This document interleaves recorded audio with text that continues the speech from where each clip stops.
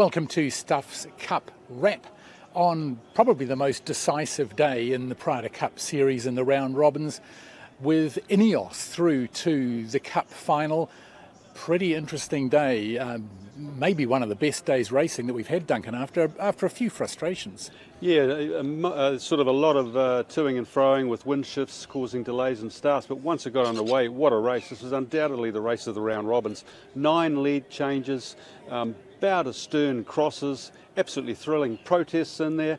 Uh, the Italians gave up a 19 second lead with two legs to go, so they'll be kicking themselves really because throughout all this, Ineos now will get three weeks off to further develop, and we saw what they did with that sort of time on either side of Christmas. Mm. So they're really in the box seat now. Sir Ben Ainslie, what's what's the overriding feeling? Relief, delight?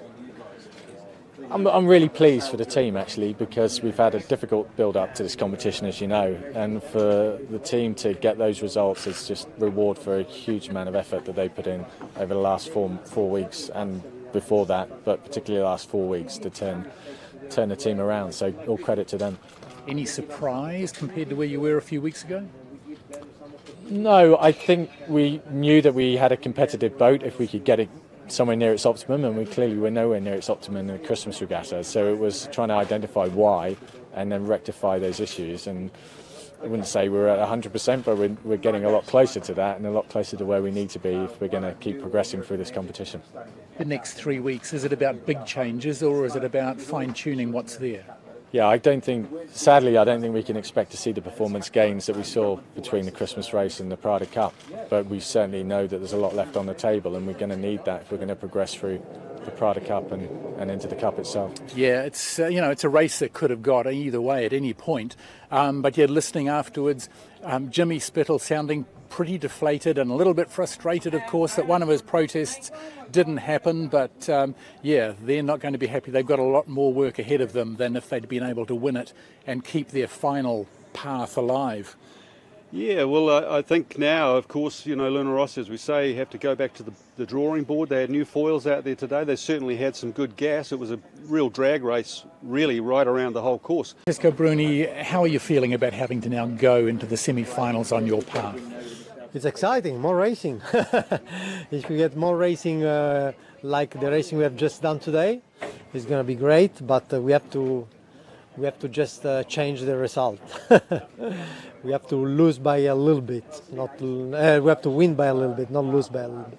When you look at what you might do differently in the semi-finals, are you sticking with the two helmsmen, or might you review how that works? I think we're going to stick with that because there are many design uh, things correlated to it, and uh, we can just uh, change it so easily. Um, so and there is not a lot of time to change things. I just we, I think we just have to see where we uh, have uh, the biggest improvements to make, and uh, I think we can really gain a lot of meters just by doing things a little bit better. Does having to do the semis compromise your boat development? No, not really. I think uh, we we have done a big jump uh, in performance this this week. Uh, the boat was going a lot better today compared to last week, so uh, I think we we are very happy with the performance of the boat. They're going to face American Magic in the uh, semi-final repechage that starts on Friday. Of course, the Americans in a race against time of their own. They've got to get their boat really ready by Wednesday for me- measurement after that dramatic capsize last Sunday heck of a lot of work going on there 24 7. The, uh, the lamps are burning throughout the night at American Magic's uh, team base. Everything's on the line there for them. Uh, can they come back? Can they find the sort of speed they had before that capsize? Because they were absolutely ripping last Sunday before it all went upside down. Yeah, and the big win for Ineos, not just getting through to the final, they've now got almost a fortnight to work on their development, try and get the boat uh, going ahead. And you could see the delight in the team, Ben Ainslie having to kind of calm the guys down after they after they crossed the line. Yes, yeah, he, he certainly said, just calm down, guys. You know, we're into the final, but uh, that's one step in a, in a long journey.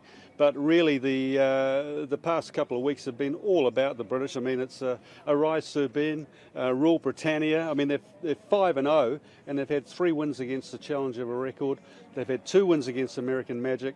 The, uh, the semi-final is a best of seven race affair, so they're going to need uh, first team to get four wins. And at the moment, Well, that's a bit of a coin toss, I'd say, between these two teams. And as we've seen in this regatta, every step of the way, an interesting twist and a new story. So, more to come on Stuff's Cup Wrap.